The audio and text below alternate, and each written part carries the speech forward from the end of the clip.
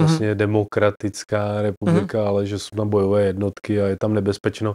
Ale jak, jak jsi tohle myslel, ta Afrika? Protože my k tomu zlížíme, kolik je neziskovek, UNICEFy a toto, kdy tam přeci proudí obrovský peníze, každý druhý miliardář řeší hlad v Africe. Já jsem... No promiň za otázku. Když... Ne, eh, Někdo kdy, to osvětu udělat. Hele, kdy, já nebudu konkrétní, aby zase na mě jako nebylo pliváno, ale když jsem byl v té Africe 2009, a, tak jsem vlastně v Etiopii na, na, nafotil nějaký školy, a, který tam postavila nějaká česká organizace a za asi milion, milion a půl jako korun a byla tam krásná jako cedulka a já jsem tu školu nafotil a nafotil jsem ji i s těma krávama uvnitř. Prostě oni tam nebyli děti, tak tam dali krávy a udělali si z toho jako kravín. Hmm, to jsem a... viděl v dokumentu FIFA, jak se financovaly školy v Africe, to bylo stejný. A no, a e, pak eh, to byl jeden článek, pak jsem tam vlastně navštívil další takový jako areál, kde bylo vlastně učiliště, eh, kde byly krásné jako ubigace, byl to areál asi pro 300 nebo pro 400 lidí a bylo to pro dětí a bylo to pro sirotky. A ta, ten objekt byl úžasný, prostě neměl chybu, akorát, že jim chyběli sirotci tak vlastně tady ty lidičky jezdili vlastně po širokém okolí a vlastně e, když zjistili, že nějaký, samozřejmě, že tam ta umrtnost je tak obrovská, tak prostě e, umře v nějaký vesnici nějaká matka a otec a najednou je tam prostě čtyři, pět sirotků. Ale prostě ta rodina je tak jako rozsáhlá, tak ty sestři a tetičky si ty děti vemou a oni ty děcka dál žijou v nějakém svém přirozeném prostředí, kdy znají prostě svoje uh, sourozence, bratrance, chodí do stejné školy a tak. Jsou socializovaný v tom. Přesně tak, protože ta rodina je pro ně tak jako silná, takže se prostě všichni starají o, o všechno a je to přirozený. Umře rodiče jedné rodině, tak se o ně prostě budeme jako starat. A tahle ta organizace jezdila po těch vesnicích a vlastně následně eh, ty děcka odebírala těm rodinám a odvážela je prostě do toho svého areálu, aby prostě plnili kvóty a měli tam prostě ty sirotky, které tam potřebovali. A napsal jsem takhle tři nebo čtyři nějaké jako články, a tolik, eh, když jsem to zveřejnil, tolik lidí mě nevyhrožovalo a tolik lidí mě ne, neobvinovalo z xenofobie, rasismu a, a ničem. Já jsem to tenkrát musel jako stáhnout a řekl jsem, že vlastně o tady těch věcech nebudu mluvit, takže po 12-13 letech o tom mluvím, i když jsem o tom jako nemluvil. A hrozně mě to jako mrzelo, že vlastně o tom ani nemůžu mluvit. A, ale naopak je tam spousta prostě fakt jako eh, skvělých uh, společností, které tam dělají něco smysluplného a, a opravdu jako pomáhají lidem. No. Ale když jsme teďka s Tatrovkou byli vlastně v jihu Etiopie, a, tak jsem tam měl dva takový chlapáky, každý mohl mít 190 cm, 150 kg, vousatý, fakt jako obrovský chlapy. A před 20 letech byli eh, v Indii, překračovali tam prostě na chodníku mrtvoly a viděli tam a zažili tam spoustu jako věcí. Navštívili jsme opravdu jako domorodou e, vesničku, která nebyla připravená prostě pro turisty a viděli jsme tam, jak tam děcka pili z dvoulitrových lahví vodu, která nebyla ani jako průhledná skrz tu jako lahev. Viděli jsme tam prostě malí děcka, který měli otevřený rány, kde jim prostě lezly červy a mouchy a, a prostě kousíček 50 kilometrů od té vesnice jsme viděli prostě krásný most, a, a kde tam byla nějaká cifra 10 milionů euro, že Evropská unie dotovala ten most tolika a tolika penězi a všichni ty chlapy prostě... EU Jasně. V Africe. Jo, jo, jo. A všichni... To je vtip nebo ne, ne, ne, ne, ne, to, to, to byla realita.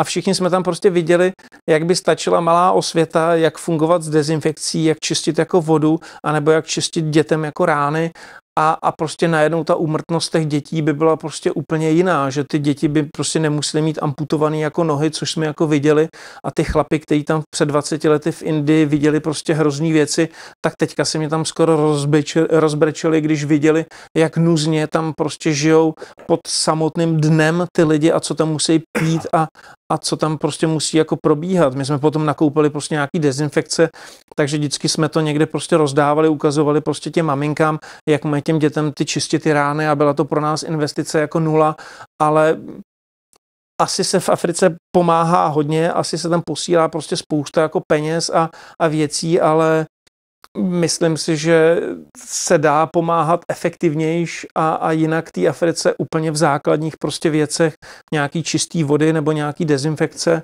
A když ještě vemeš, tak tuším v Etiopii veškerý dary, které se posílají do Etiopie, tak jsou zdanění tuším 40%, abych nekecal, jestli se to změnilo, tak to bylo před těma 12 lety, takže když to pošleš je nějaký... business teda pro vládu. ano, přesně, přes, přesně tak. Jako, takže, ale to bychom se zabředli do témat, do kterých a je to důležité, někdo tu osvětu udělat musí a díky za to, že takhle promluváš, jak čistíš hlavu, když tohleto eh, cestuješ mnoho let, tu Afriku si vlastně dal dvakrát, že?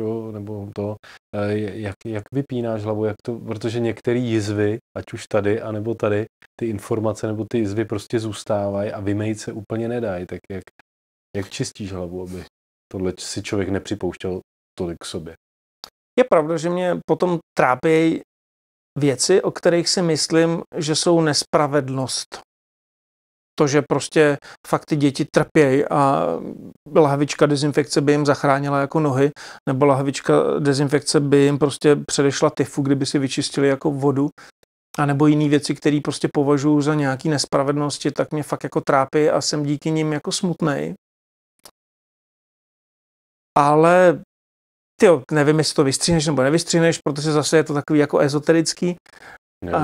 Kdy asi před 20 lety, když jsem se právě vrátil z té Austrálie a začal jsem se eh, bavit s takovýma lidma, kteří byli úplně na jiný vlně a přinášeli ke mně jiný, jiný jako věci, tak mě nějaká kamarádka přinesla knížku, nějaký bestseller, který se prodalo vlastně 50 milionů kusů, uh, Hovory s Bohem, a říkala, vem si to, přečti si to. Já jsem tu knížku vzal, odevřel jsem ji a začal jsem číst odstavec, kde se psalo něco v tom smyslu, až pochopíš, že Hitler nešel do pekla, ale do nebe, a pochopíš rovnováhu jako ve světě. Jsem tý knížku vrátil, říkám, že v žádném případě takovou knížku nebudu číst. Ona mě ji dala a za půl roku jsem se k ní dostal.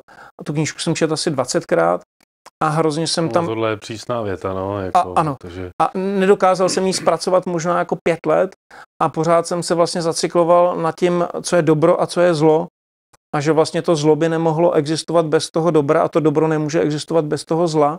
A vlastně něco, co se člověku může zdát jako to největší uh, zlo na světě, Hitler, tak ve všech jako souvislostech to může prostě vyplynout úplně, úplně jako jinak. Jako jo. Ta knížka neříká, že skončil jako v nebi, anebo skončil no, jako v pekle. v dnešní době je tohle zrovna hodně přísný příklad a, a příměr a vůbec těch nálepek, který se přirovnávají k té době druhé světové války. Je, Takže moc, mám pocit. Tohle jsou pro mě nástroje k tomu, abych držel čistou hlavu abych ty věci vlastně neodsuzoval a nesoudil. Já nejsem Bůh, abych říkal, co je dobro, co je zlo, a spíš ty věci vnímám jako součást nějakého nějakého vlastně celku, nějakého běhu, nějakého mýho jako života.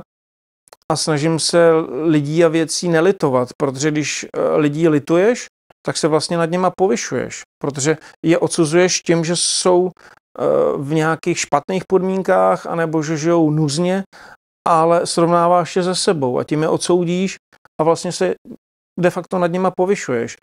Ale kdy ty lidi, i když žili v nuzných podmínkách, tak byli hrozně šťastní a spontánní a takovou spontánnost a šťastnost v lidech a v těch očích jsem skoro u někoho v Evropě jako neviděl, tak i když tam si uvědomuju ty špatné věci, které mají, tak vedle toho vidím to štěstí, který nemáme ani jako my, i když máme tisíckrát větší jako majetek. A hmm snažím se na ty lidi koukat jako houba, která nasává i, i to pozitivno, čím vším by mě mohli naučit a posnout. Jednu větičku, kterou mám někde jako při, přilepenou a kterou si opakuju, každý člověk, který ho v životě potkám, mě něco může naučit. Hm. Jo, to platí pro všechny tyhle rozhovory a setkání. A... a tak nemůžu někoho odsuzovat, nemůžu někoho říct, že je to blbec. Prostě připravím se o to poznání a o to, že mě ten člověk něco může naučit. Snažím se mít otevřený oči a mysl.